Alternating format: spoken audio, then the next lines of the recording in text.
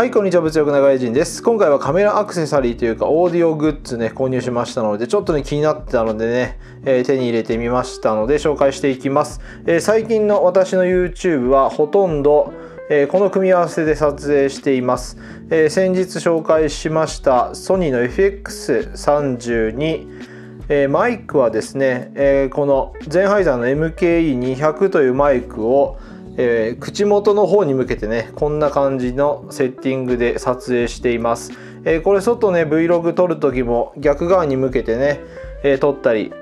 え手前に向けて音声入れて撮ったりしたりしてますけれどもこんな感じ。でレンズはね、えこの 1850mm のシグマのレンズか、えソニーの 1020mm のね、え F4 のレンズ。えパワーズーム搭載したレンズどちらかを使っているという感じです。えー、ほんとねオートフォーカス性能とか動画性能全く不満なくねこの FX30 使っています。まあ色味ぐらいかな。色味はねニコンの方が好きなのでやっぱりねちょっとこのソニーの色味っていうのはね冷たい感じになっちゃってね、えー、まあこの辺りはね好みあると思いますけれども今のところね操作感とか、えー、性能とかにはね大変満足していてね、えー、問題ない。はいこちらの APS-C サイズのセンサー搭載したカメラですけれども、えー、音がですねちょっとね気になってねもっと改善できないかなというところ試していきたいと思います。今撮影しているのはニコン Z ですね。ニコン Z と、えー、ピンマイク AGP テックのピンマイクとあとはレンズは 28mm の F2.8 のレンズ使って単焦点ですね撮影しているというところです。この組み合わせだとねとても手軽でいいんですけれどもマイクがねやっぱりねちょっと声こもってね録音されてしまっている感じがあるんですよね。環境音を取るにはねいいのかもしれませんけれども近くでナレーションというかねこのように私の声取る時にこのような外部マイク使うとね少しこもっている感じがね気になっちゃうんですよね、えー、その前はねずっとこのピンマイクで使っていたんですけれどももう少しこう周りの音をね入れてみようかなということでこういうね外部マイクにしたんですけれどもなんかねいまいちしっくりきていないんですよね。なのでまあピンマイクに戻そうかなとも思うんですけれどもやっぱねコンデンサーマイクを使うとね音めちゃくちゃいいので、えー、使えないかなと。なんとかカメラでコンデンサーマイクねつないで使えないかなということをね試行錯誤しようと思っています、えー、ちなみにですねコンデンサーマイクというとこういったね配信用のマイクがありますけれどもこれオーディオテクニカの AT2020USB プラスかな？という商品ですけれどもこれねえこのようにね USB 接続なんですよね。なのでパソコンにつないで録音するにはいいんですけれどもカメラに直接 USB のねマイクデバイスつなぐことはできませんのでちょっと手軽さという点ではね劣りますね、え私ね音声だけ別撮りしてね編集時に合成というめんどくさいことをねしたくないので、えもっとねお手軽にカメラにねコンデンサーマイクつないで録音できないかなということでいろいろと検索してみたところこのねアイリグプリ2という商品がヒットいたしました。あまりね日本のレビューもないのでどうなんだろうなと思いながらね、えー、今回見ていきたいと思います。マイクはねダイナミックマイクとコンデンサーマイクありましてこちらはね有名な手話の SM58 のダイナミックマイクなんですけれども端子がこのように XLR 端子なんですよねダイナミックマイクは別途電源なくても動きますので、えー、このようなね XLR の端子とえー、三極端子の、ね、ケーブルがありますのでこれをね無理やりまあ無理やりというかねこれを使ってなんとかねカメラにつなぐこともねできそうではありますね。え、ちょっと後ほどね音質比較ということでこれやってみたいと思いますけれどもさらにはね、え、まあこういったねコンデンサーマイクですね。XAR 端子のコンデンサーマイク。こういったのをね手軽につなげるとよりね高音質で撮れるんじゃないかということでこの iRig の商品を入手いたしました。超有名なマイクとしてはねゼンハイザーのあの細長いやつですね。MK600 とかでガンマイクですね、えー、ピンポイントで口元狙って撮るっていうのもね、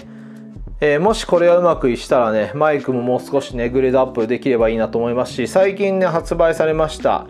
えー、オーディオテクニカのね、えー、何でしたかね型番 MX50 かな？の、え XL 端子とあとコンデンサーマイクがヘッドホンについたタイプですね。あれがねもう今ね全く品薄で売ってないですけれどもめちゃくちゃね気になっています。あのコンデンサーマイクがついたヘッドセットを使えばね口元でコンデンサーマイクで高音質で、えなおかつモニタリングもできるという夢のようなねえー、私のような YouTube スタイルにはね最適な環境ができるんじゃないかなと思ってますけれども、えー、そのねヘッドセットもね XLR 端子か USB 端子なんですよね、えー、ですのでそのまあ準備じゃないですけどね、えその調査のためにも今回 iRig Play 2という商品紹介していきます。えこの iRig Play 2というのはね、えモバイルマイクロフォンインターフェースと書いてありますようにどういったものかと言いますと、えこのねコンデンサーマイクえー、端子がまず XLR ですので XLR からね、えー、このようなカメラにつなぐためには先ほど紹介したような XLR と3極4極タイプに変換が必要なんですけれども、えー、コンデンサーマイクは別にね電源が必要です。えー、ファンタム電源ということで 48V とかね電源が必要なんですけれども、えー、このケーブルつないだだけではねそんな電源がどこからも供給できませんので、えー、使えませんソニーですと純正でこのね上のえホットシューにつけるマルチ集かな？につける XLR の端子というかね機器も売ってるんですけれども高いんですよね。6万ぐらいかなするのでそのようにファンタム電源を供給できながら、えー、この3極4極タイプに変換できるようなねオーディオアダプターコンパクトなもの持ち運びできるもので探していましたら、えー、この iRig Play 2がね良さそうだなと思ったのでね、えー、入手してみました。XLR をこちらに挿して、え電池を入れてね、えあとはつなぐだけということでコンデンサーマイク電源必要とするコンデンサーマイクがえ、このね4極タイプ使えるデバイスがあれば、えー、全てね使えるということで結構すごい商品なんじゃないかなと思いますので開封してチェックしていきます。開封しますとパッケージにこんな感じで入っています。パッケージ内容とてもシンプルですね、えこちらシリアルナンバーとねあとアプリがダウンロードできるね、え QR コードがついた。リーフレットと本体と、えバンドです。これね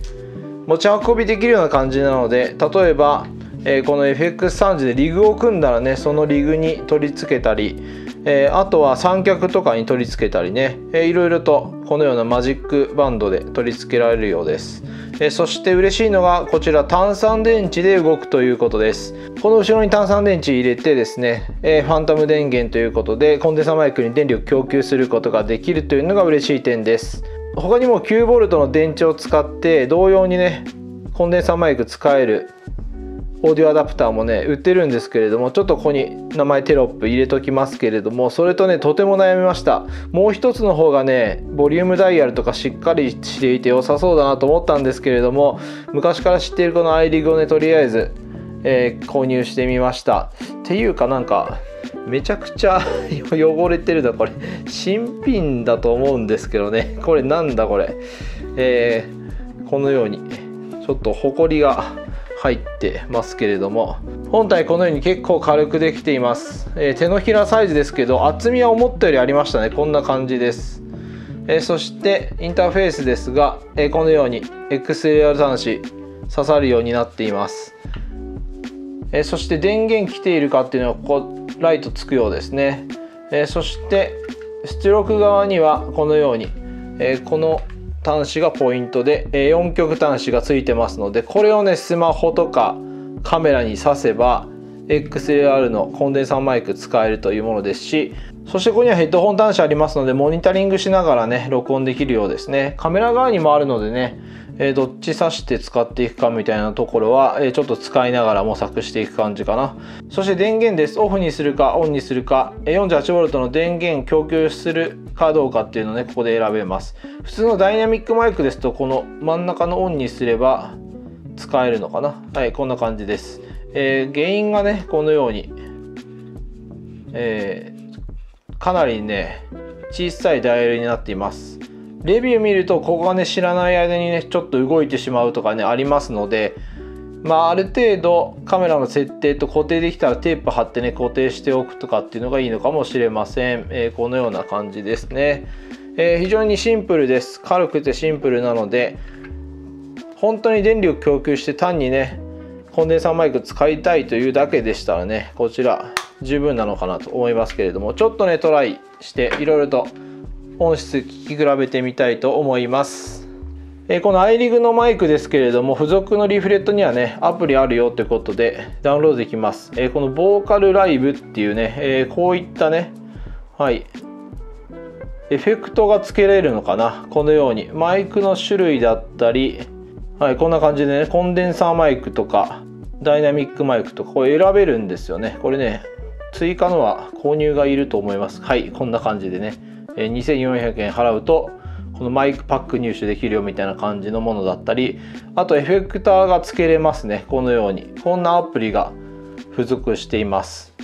またこれ後ほど試しますけれども録音ですね。iRig レコーダーといって、えこちらね Type-C ですので、えこの Type-C と、はい、このようにオーディオジャックのねアダプターをかませば多分録音できると思いますので高音質でこの iPad で録音できると、まあ、ボイスメモで録音してもいいですしこちらね。はい、えー、高音質 48kHz の24ビットで撮れるというですね。はい、このようなアプリがねついてますので、まあ、ちょっとこれでも後で撮ってみようと思います。あとはですね、えー、こちらかな。はい。これはねマイクルームというアプリですね、えー、こちらねこのようにモデリングマイクをモデリングすることができます。えー、ただねこのねソースでインプット選べるんですけれどもアイリグ製のマイクがやっぱね一番いいですね。いいというかねこのプリセットされている多分周波数とかがもう分かっているのであ、アップルのヘッドセットもあるのか、はい、この辺りですと、まあ、よりなんか正確にこのマイクに変換できるのかな音が。はい。エミュレートすることができるようです。一番上はねダイナミック58これ多分手話のこれですね。SM58 のことだと思いますけれども。まあ、こんな感じでえー、お互いマイクの、ね、音を再現できるというものなんですけれどもこちらのアプリ録音の機能が全くありませんので、まあ、使うとするとこの GarageBand とかで、えー、 GarageBand のね録音のとこのインのとこにこのようにね、えー、 Inter-App Audio っていうのがありますね。こうするとねなんとこの他のアプリからね入力できるようですね。 MicRoom Free。えー、ただねちょっとね試したんですけどよくわからなかったので、えー、もう一度ねしっかりと試してそれは別途のレビューしたいと思います、えこんな感じのアプリが、えマイクとともにね使えるよということなんですけれども、え電池入れて使ってみたいと思います。ではここから少しね聞き比べということで、えまずですね、え今回全部録音はねこのソニー FX30 でいたします。えまず今使っているこのゼンハイザーの MKE200 ですね。こちらをまあ普段三脚に立てて使ってるぐらいの距離、まあ10、10セン15センチぐらいかな？から20センチぐらいの距離で離した状態で録音してみたいと思います。今ソニーの FX30 にゼンハイザーの MKE200 というねダイナミックの外部マイクを装着しています。そちらでねえ口元から15セン20センチぐらいかな離した状態でえ録音してますけれどもどんな感じでしょうかえ最近のね私の YouTube 動画、この MKE200 でね、撮っています。えー、MKE200 のマイク音質、えー、ソニー FX30 に、えー、つないでね、録音している状況ですけれども、どんな感じでしょうか最近の YouTube 撮影のセット。ゼンハイザー MK200 の音質です。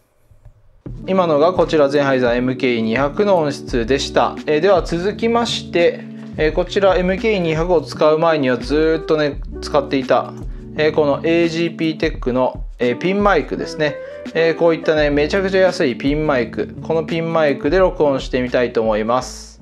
では続きましてピンマイクです。AGP テックの、えー、本当安価なねピンマイクをこちら FX30 に装着して、え録音しています。えー、胸元にピンマイクつけてね話している状況ですけれども音質音声どうでしょうか。AGP テックのピンマイクでの音質です。ソニーの FX30 にピンマイクつけてます。MKE200 使う前はずっとねこのピンマイクで録音しています。意外とね口元で、えー、録音した方がね外部マイクよりもね音はいいのかなと思いますけれどもピンマイクの音どうでしょうかこれが一番良かったりするかもしれませんね AGP テックのピンマイクとソニー FX30 の組み合わせです。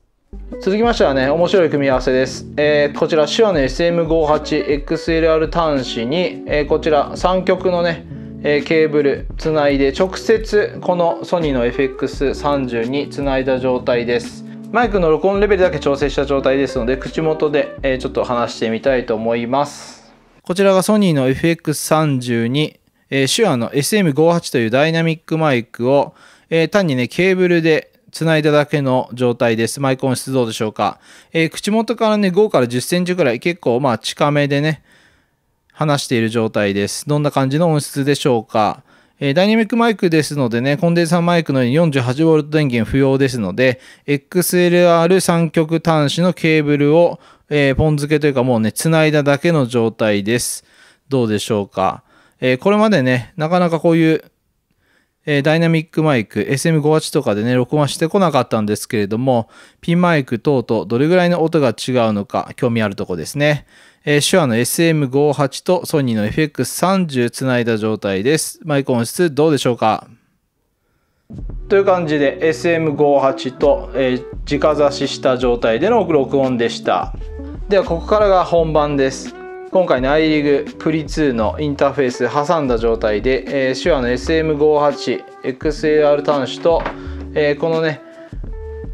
オーディオインターフェースの XAR 端子につないだ状態で電源をオンにして、えー、ゲインを6にしています、えー、今 FX30 側は、えー、このようにね、えー、こちらね4極端子でしたので3極に変換するケーブルをかましてえー、こちらねレベルは15にしてます。録音レベル15の状態で、えー、ちょうどね、えー、このマイナス3デシベルぐらいにいくかな、えそれぐらいのレベル感に合わせた状態で録音してみたいと思います。今こちら 48V 電源はオフの状態ですね、えこのような感じで録音してみます。えではいかがでしょうか。今ですね iRig のプリ2というインターフェース、オーディオインターフェースを挟んだ状態で、手話の SM58 で手持ちで録音しています。先ほどのね、えー、線直つなぎした時の状況と同じように口元から5から10センチぐらい離した状態で、えー、話していますけれども音質ね比べてどうでしょうか？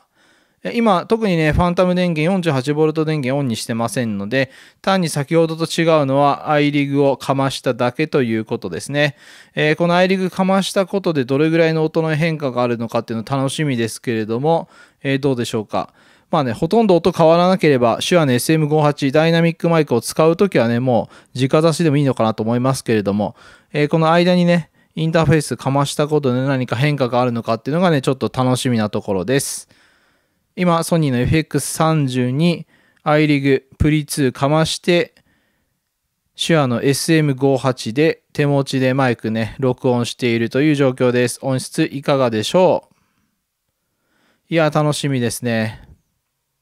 続きましてこちらです、えー、コンデンサーマイクですね。アウンってこちら以前紹介してなかなかね音良かったコンデンサーマイクですけれども、えー、そして、えー、このように iRig プリ2は 48V 電源オンにいたしましてえ赤と青点灯した状態ですえコンデンサーマイクはねこちら 48V 電源入れないと音ね入れても全然このカメラ側のレベル触れませんのでねご注意ください。こちらオンにした状態で原因をね少し下げて4です。でかなりですね感度が高いのでこのカメラ側の設定はねこれ4になります。えー、これね口元どれぐらい近づくかにも近づけるかによるんですけれども、えー、かなりね15センチぐらい離した状態で録音しようかなと思っていましてこれぐらいですね。これぐらいの録音レベルにしようとすると4ですね。もう先ほどの15とかね20とかにするともう振り切れてしまいますので、えー、注意が必要です。この辺りマイクを変えるとね結構いじらなきゃいけないのでねなんかマイク録音レベルっていうのもねプリセットみたいな感じでできるといいなと思ってますけれどもどうでしょう？あカメラ設定変えればねできんことはないのかな、え、ということで今ねこの組み合わせです。コンデンサーマイクに、えー、iRig プリ2挟んで、えー、録音してみたいと思います。え続いてこちらのアウンというのコンデンサーマイクで録音しています。今ですねこのコンデンサーマイク口元から15センチぐらい離した状態で録音していますけれどもどのぐらいの音質でしょうか？え今、間にはね、iRig プリ2を挟んで、えー、単三電池2本で 48V ファンタム電源供給した状態で、えー、マイク、えー、3極端子ですね。4極から3極に変換したのをソニーの FX30 につないで録音している状態です。先ほどの手話 SM58 とはね、全然仕組み異なるコンデンサーマイクですので音質違うと思いますけれども、どの音質が一番いいのか気になりますね。ピンマイクにゼンハイザー MKE200、そして手話 SM58 のえー、直接線つなぎ、そして手話 SM58 の iRig プリ2挟んだ状態で録音、そして今回の、えー、普通のコンデンサーマイクですね、えー、キャノン端子で接続して 48V 電源を、えー、iRig プリ2から供給して、そしてカメラ FX30 につないでいるという状況です。これがね、結構ね、音質良ければ、えー、コンデンサーマイクで、えー、普通のね、YouTube 動画、ナレーション撮りながらね、えー、同時に映像も録音できるという超お手軽環境ができるのでね、とても便利だと思います。そしてコンデンサーマイク搭載したヘッドセットがね、届けば最強になるんじゃないかなと思います。iRig Pre 2 iRig Pre 2はとてもコンパクトなので、コンデンサーマイクね、屋外でも使いたいといった時にもね、簡単に使えますね。えー、より高いね、MKE600 とかね、ああいったガンマイクとかもね、使うことができますので、えー、お高いね、インターフェース、XLR 端子接続するインターフェースを、えー、買いたくない方ね、えー、何チャンネルも別に録音するわけじゃないよという方、単にマイクに、コンデンサーマイクに電力供給できればいいよという方はね、この iRig Pre 2おすすめになるかなと思います。えー、耐久性とかはまだ分かりませんけれどもね、えー、使った感じね、とても手軽でいいなと思いました。このね、ダイヤルの調整がね、えー、動かないように固定しておくとかの工夫は少し必要そうですけれども、え特にね、アナログ操作ですが、問題なく使えていますので、まあ、スイッチ電源オンにするだけなので、ね、簡単ですし、いいかなと思いました。え、現在、FX30 に iRig Pre2 と、そしてアウンというコンデンサーマイクつないだ状態です。残念ながらね、オーディオテクニカの AT2020 つなぎたかったんですけれども、あちらね、USB 接続なので、XLR 接続ではないものになるので、えー、聞けませんね。えー、ちょっとね、AT2020 のね、XLR 端子版もね、ちょっと欲しくなりましたね。このあたり YouTube 配信に使うためのマイク選びっていうのもね、えー、なかなかね、難しいところですね。皆さんどのような環境で録音してますでしょうかではまたマイクを切り替えたいと思います。では続きまして、この iRig Pre 2のえ醍醐味というかねお手軽高音質環境ということで、え iPad Pro にですね今つないだ状態ですこのようにねタイプ C と4極つなぐこの端子をつないだ状態でえこの iRig p r 2から出ているえこの4極端子直接つないだだけです。そして今ねえこちらヘッドホン挿してます。イヤホンかな？イヤホン挿してます。このヘッドホン端子に。先ほど紹介し忘れたんですけれどもえここにね横の部分にダイレクトモニターっていうスイッチがありましてこれオンにするとねえ話してる音がこのヘッドホン、イヤホンから聞けます。音量も調整可能ですのでね、今ね、こちら耳から、え、今話している状態聞こえてるわけですけれども、えー、こんな感じで、原因とはね、反対側で、これね、ちょっとね、手探りだけだとね、間違いそうなので注意が必要なんですけれども、こんな感じで今、原因が、えー、このぐらいで、えこっちのね、音量が8とかになってますね。えそして、これをつないだ状態であとは iPad のアプリで録音すればね高音質録音ができるという優れものですね今こちら iRig レコーダーという純正のアプリをね起動した状態ですけれども。えマイク口に近づけて話しますとはいこんな感じでレベルが上がりましてこれで録音ができるというねアプリになります。え、オーディオのクオリティはね、ハイは、え、48kHz の24ビットということで、もうこれなんかね、写真というか映像も撮れるようですけれども、今回はね、音声だけ録音してみたいと思います。アプリでね音声書き出しできそうですけれどもちょっと残念なことにこちらね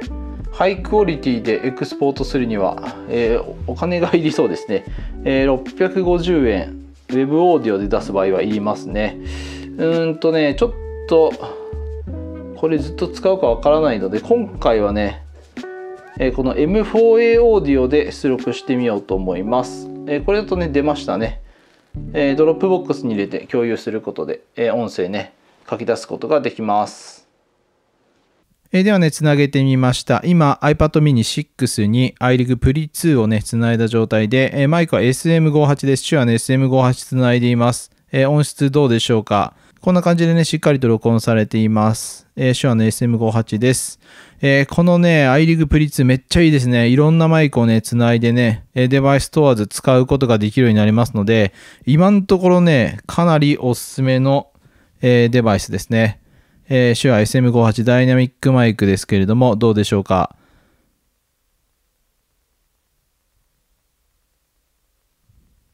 はい、ホワイトノイズもね、どんな感じでしょう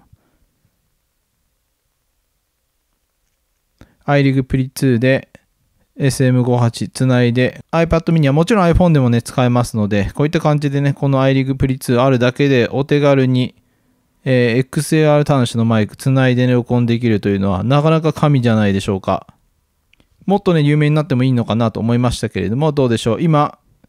iPad mini 6に、えー、こちらね Type-C とそして、えー、4極端子のね直接つなぐようなアダプターをかまして接続しています。iRig Pre 2と手話の SM58 の組み合わせの音質です。では続きましてはコンデンサーマイクの音質です。えー、先ほど同様にね iPad mini 6に、えー、このようなねアダプターかまして iRig Pre 2つないでいます。そこからコンデンサーマイクつないだ状態です。アプリは iRig レコーダーで、えー、録音しています。どんな感じでしょうか？先ほどの手話 SM58 とは違ったね音質かと思いますけれどもどうでしょう？え、このようにね、モニタリングしながらね、え、音、録音することできますので、かなりね、使い勝手いいですね。コンデンサーマイクと iRig Pre 2の組み合わせで iPad 録音です。ホワイトノイズどうでしょうか？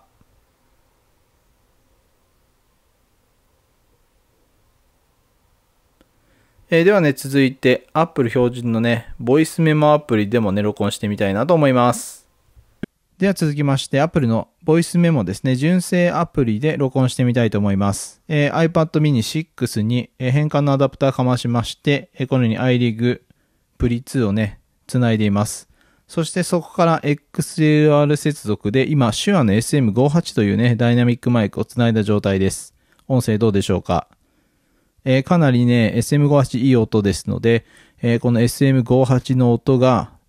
簡単に Apple のえー、もうね、プリインストールされているボイスメモアプリでこのように録音ができます。ボイスメモアプリいいのがね、外部マイクでね、録音できるということですよね。私よくね、Bluetooth イヤホンのマイク音質とかで、えー、このボイスメモアプリ使いますけれども、えー、このようにね、まあ、しっかりとしたマイクを、えー、外部のインターフェース挟んで録音するということもできますので、えかなりね、えいい音で撮れてるのではないでしょうか。え今 iPad mini のえー、アプリですね。ボイスメモアプリに iRig Pre2 つないで、手話の SM58 をつないだというような状態で録音しています。では続いてね、コンデンサーマイクに変えてみたいと思います。では続きまして iPad mini 6にね、最初から入っているボイスメモアプリで録音しています。今 iRig Pre2 をつないだ状態でね、コンデンサーマイクつないでます。えー、手話 SM58 の時と違ってですね、えー、こちら、コンデンサーマイク、えー、電力ファンタム電源 48V の、えー、スイッチオンにした状態です。えー、かなりね、レベルが高くなりますので、今、え原因はね、6にしてます。原因6の状態で録音しています。これね、原因10とかにするともうね、振り切ってというかね、かなり、えレベルオーバーになってしまうので、このあたりね、どれぐらいになるかっていうのはね、ちょっとやっぱ、え微調整というかね、えシビアな調整がね、コンデンサーマイクの場合は必要なのかなと思います。えー、ボイスメモアプリで今、